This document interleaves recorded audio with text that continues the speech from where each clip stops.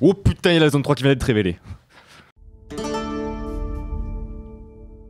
En effet, lors de la convention de jeux vidéo EGX Resd à Londres, Chris Thurston et Sean McCafferty ont longuement parlé d'Itel. Alors que nous pensions qu'aucune nouvelle information ne serait révélée, les deux compères d'iPixel Studio nous ont montré des images jusqu'alors inédites. Avant cela, ils sont revenus sur la genèse d'iPixel et notamment sur leur popularité grâce aux mini-jeux créés sur Minecraft à l'époque. Pour plus de détails à ce sujet, je vous invite à regarder notre vidéo avant iTel iPixel. Sean explique que sera basé sur trois points importants. 1. Le mode aventure, avec ses centaines d'items différents, arbres, fleurs, animaux, blocs, minerais, monstres, etc. Son histoire, ses lieux d'intérêt, son côté sandbox évidemment, et RPG. 2. Les mini-jeux avec le retour de jeux populaires. Là aussi, je vous invite à consulter notre vidéo à ce sujet dédiée aux mini-jeux d'Itel. 3. Les outils de création pour la communauté. Sean confirme que le Hytale Model Maker sera disponible gratuitement pour tout le monde dès la sortie du jeu. Alors c'est une info qu'on avait déjà, mais la confirmation, elle fait quand même plaisir à avoir.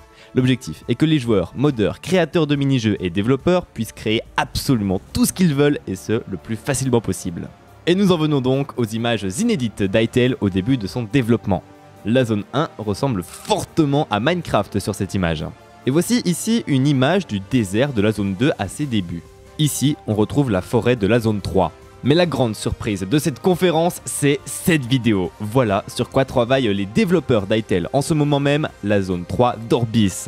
Cette souris a l'air bien solitaire dans cette forêt luxuriante, mais un peu sombre. Un côté mystérieux et des champignons phosphorescents sur un lit de neige, des sortes de mineshaft sous les flocons, et regardez cette adorable chouette, on dirait Edwige. Mais on voit surtout des torches posées un peu de partout. Est-ce le joueur qui les a posées ou les PNJ de la zone 3 Pour rappel, le jeu est encore en cours de développement. Le fait qu'Apixel Studio travaille actuellement sur la zone 3 veut-il dire que les autres zones ne sont pas encore prêtes? Quoi qu'il en soit, nous avons hâte d'accéder à la bêta d'ITL. Voilà, c'est tout pour cette petite vidéo informative de relais de news à chaud. Nos vidéos habituelles, elles, elles reviennent dès dimanche et vous l'avez peut-être vu planifié en première, nous parlerons de l'aspect communautaire de ITL. À dimanche alors, et en attendant, n'oubliez pas de vous abonner et de nous suivre sur nos différents réseaux en description.